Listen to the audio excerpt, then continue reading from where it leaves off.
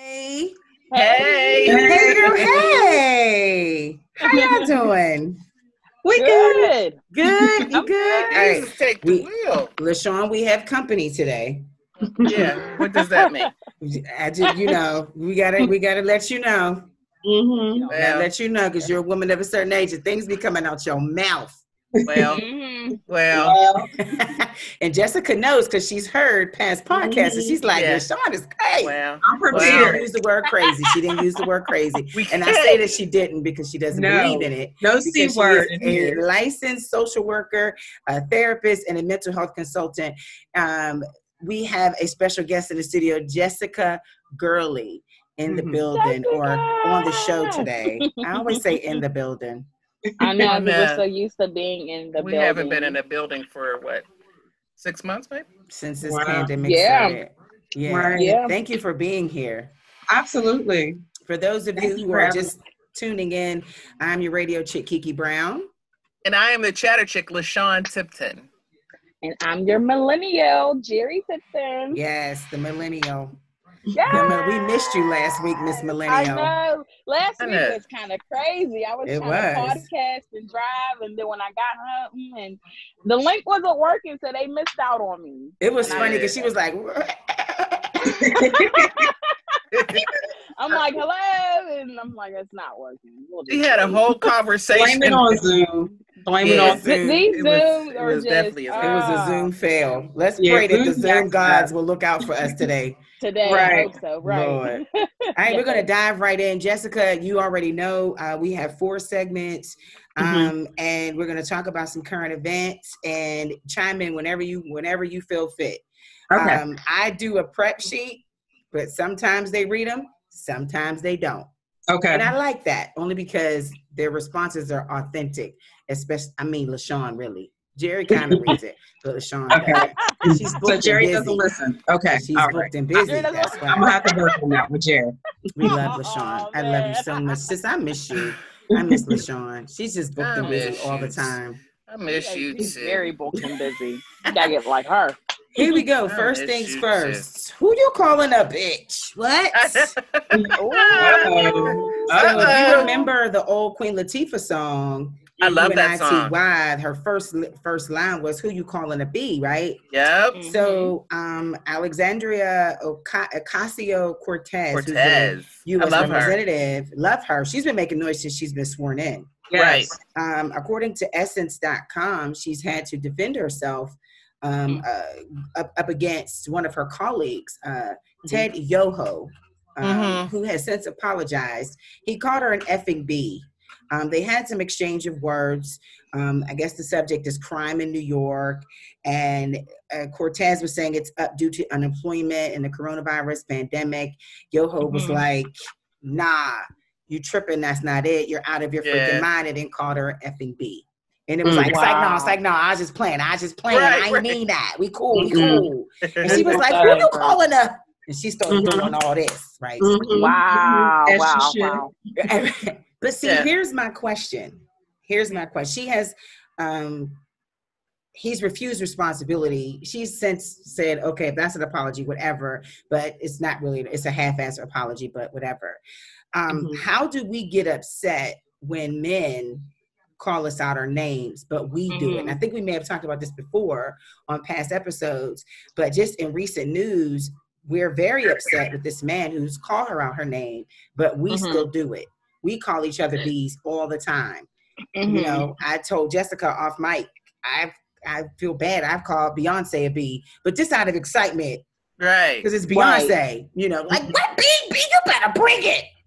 But I think when we do it to other women, not saying that it's good, mm, but I think when we do it, it's like playful type. Right. You know, when men do it, I think it's more aggressive and you're being more rude with it. Like, Mhm. oh, that bee over there, you or you stupid bee or something like that. I think their approach is different mhm, um about it. There, it's it's how it's not what you say, it's how you say it. mhm. um, even though it was wrong, you know, e- either way it goes. But like sometimes me and my friends, we like, oh, big, oh, guess what? The, you know what I mean, like that. Like the way we do it is fun Mhm. and it's playful, but when guys do it, I feel like it's more disrespectful, you know. So I, you know, I think that's where it it lies. You know what mm-hmm. I'm saying? Like the difference between when we say it to our girlfriends opposed to when guys say it to us. So that that's what I think. Okay. Yeah, Sean, Jessica. I, I get it. I get it like that. too. Did you Did you want to say something, Jessica? Go ahead. Shoot your gas. Go ahead. Go ahead, gas. No, I was going. I I 100 percent agree. I think you know black people have been known to culturally take things that are usually negative and flip it to something positive, and use it to kind of throw it back in that person's face to say, "Look, you can't use this against me now." So I think some women have taken that word and saying and use it in a playful way to say, "Look, I'm not going to let this affect me, and I'm gonna u- actually use it in a playful way." I don't use it. I don't like to use that word because I don't want there to be no confusion. So a guy Mhm. won't be like, "Oh, I heard you say I thought it was okay." So I, Mhm. I just don't use it. But I, I do think a lot of people, it's how you say it, and there's there was a lot of aggression the way that, that he said it. There's Mhm. definitely some toughness behind it and some male privilege, and I don't like it. Mhm. At all. Yeah. Rolled her ass hard. You're like, I, I What you- totally I agree. I agree with you both. And and and when Jessica was saying, you know how we take a negative and turn it into a positive, because the N word was something I was gonna say that. I yeah. never like, Mhm. but sometimes it's appropriate. Sometimes yeah. somebody do something, you be like, yeah, yeah, no, come Right. on, Yeah. Right. right. come on, like Right. it's like uh, so appropriate, and and not that I'm I'm not a big cusser because the Lord's working on Mhm. me. He's Yeah. working on Yeah. me with my with my mouth. Thank Yeah. you, Lord. Oh, I felt that. But um. Jesus. what? Ooh.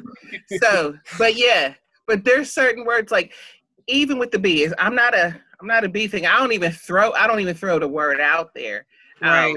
and I but let me, let me go back. Uh, Let me retract. I have thrown it out there and, and it's been funny. Like, yeah, Mhm. you crazy. Mhm. You know, something like that. But I don't I don't like it to be thrown at me.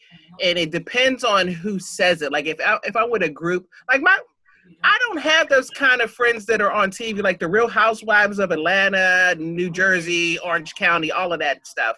They throw it like crazy. I don't have those Yeah. kind of girls that call me a B and throw drinks at me and talk about me. We don't. I don't have that kind of friendship. So But they're getting I a check know for it. They're getting a check. Yeah, you know what I and it's Right. and it's theatrical. It's Right. all set up. Because I love when Mhm. they open up the door and they be like, "Girl, I didn't know you were coming over." Yes, you did. There's a camera behind you. and in front of you. Yeah. Yeah. Right. Why you being You're Right. the best actress But do you think those? Do you think stuff like that, shows like that, kind of glorifies it and gives it, a pass? Mhm. You know, we have younger Yeah. girls that it's kind of like a mean girl situation all over again, and that Yeah. and that's not cool. Especially if we want our young people to respect us. You know, put some respect on my name. Um, I think that she was good for standing her ground. Um, I think that other men need to understand and women that you can't throw that word around, but at the same time, we have to be just as responsible as we expect them to be. Mhm. You know what I mean? If I say Right. like one word that I do, I think ever since it was in high school, I do not like being called is goofy. I Mhm. hate that word. It is like the most offensive word. And you being the the social worker and a therapist, you may relate this to a self-esteem issue, something that I had buck teeth. And so when you see Goofy, you look at Goofy, Oh. the Disney character, as you know, stupid. Um, he was just like, and Yeah. when someone called me Goofy, Yeah. I thought it was that. That's how they saw me. And so I took Mhm. offense to it. When you call me a B, it's I look at it as as the most offensive thing that you could say to me. It's like spitting on me. It's the worst Mhm. thing. I have a name. Mhm. My name ain't baby and my Right. name ain't bitch. Like that's just Yeah. that's not Right. it. Don't call me hoe, don't call me hooker, don't call me heifer. Oh yeah. yeah. Period. I know Right, we didn't bleep right. a whole bunch of stuff, but you know, don't don't do that. and I have young nieces. We will. Mhm. We have. I have nieces who look at me, and I have to carry that. Uh, I have to carry that responsibility to let them know that they don't need to be called that as well, and they should not be called that. You know what I Right. mean?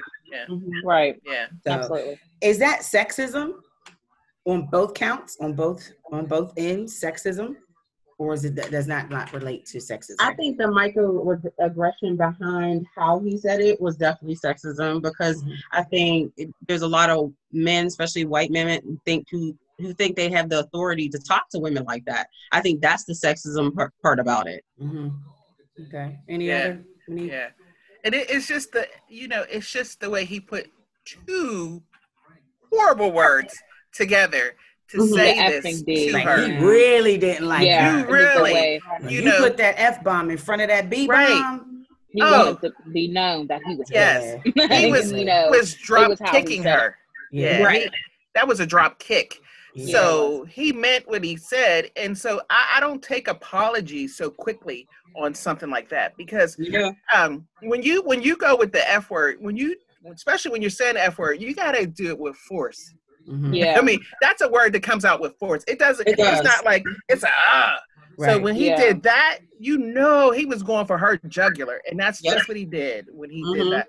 And no, I mean for her, for her to be like, okay, I accept your apologize, eh, apology is kind of saying to young girls, okay, well, you Right. didn't mean to say that. Yeah. Right. Yes, you did. You used two words to call me out my name. Mm-hmm. Mhm, One, but mhm. 2 Mm-hmm. So yeah, I'm gonna let you soak in that for a little bit. Yep. Mm-hmm. Well, I'm sure she'll have the weight when it's time for her for another seat or when she needs something from this person. Mhm. You know, she can kind of dangle that. She did take to Twitter saying Republicans, uh, Republican responds to calling a colleague disgusting and an effing B with I cannot apologize for my passion and then blaming others. I will not teach my nieces and young people watching this, uh, watching that this is an apology um, and what they should learn to accept. Yoho is refusing to uh, is refusing responsibility. So now the message is for young girls to see the strength that she has in Mhm. carrying that confidence and using that as a tool to say your strength is in word. You can either give life or give death and be the Mhm. better person by saying, I see what you did. I'm Mhm. holding you accountable for what you did. And because Right. of what you did, you're going to look stupid and I'm going to look smart. And Right. people are going to watch me and how I, hopefully, I'm thinking that this is, you know, what our young people um, are Right. seeing. So rather, you know, uh, it's just it's just uncalled for and, and I, I just I want us to to be better as a people as as a as a gender women um to, to not use that way. Re- regardless on age you know we have a diverse group on this show. You have the chatter chick who's a woman of a certain age. You have myself and then you have our millennial. And so all of us see things differently you know Right. and say well you know that's because you're older or you know we have older ears. Oh yeah, like Jerry said. forgive you for that but I anyway got you got for some older Yeah. ears. yes y'all know y'all got older ears but anyway I was like, what? Like my diamonds must have been hanging wrong. for a long time, making my Yeah. ears older. must be my diamonds. boo. Ooh. yes, she did. Yes, she did. Okay, so uh, again, we have guest Jessica Gurley, who is a licensed social worker, therapist, and mental health consultant, and we're going to talk more with Jessica about the recent news story um, as it pertains to a few celebrities that we might you might know Kanye West. Um, I don't know if you know him or not. You might know Mhm. Tamar Braxton, and you probably know maybe uh, Nick Cannon. So we're going to talk about that in our second half. But coming up, we have fan mail. I'm excited. We getting in your business. You about to lose your job. So. Is that a song? yeah, it Yes. is now. Yeah. you about to you lose your lose your job. And so this this particular uh, email is written by someone who says that they've been they've um, they feel that their friend betrayed their trust. So we're going to get into that uh, next. Again, we have special guest Jessica Gurley, who's a licensed social worker, therapist, and mental health consultant. This is the Hey Girl Hey podcast on Urban Media today. Hold on.